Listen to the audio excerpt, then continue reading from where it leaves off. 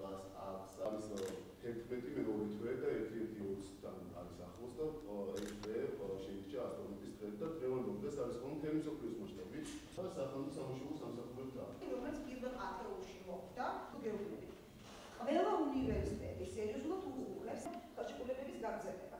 ეხლა საქართველოს მიიღო საერთო ჯამში 814 სტიპენდია, აქედან 179 არის ჩვენ შევხვდით სტუდენტებს, რომლებიც მიემგზავრებიან ევროპის სხვადასხვა ქვეყნებში სასწავლებლად. მათ მივაწოდეთ ინფორმაცია თუ რა შემთხვევაში უნდა დაარეკონ 112-ზე და რა შემთხვევაში არ უნდა დაარეკონ 112-ზე.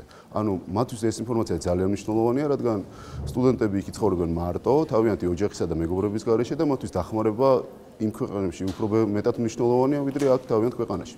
დღევანდელი შეხვედრა იყო ძალიან მნიშვნელოვანი, რადგან გავიგეთ, რომ გადაუდებელი დახმარების ნომერი 112 მოქმედებს არა მხოლოდ საქართველოში, არამედ ევროპის მასშტაბით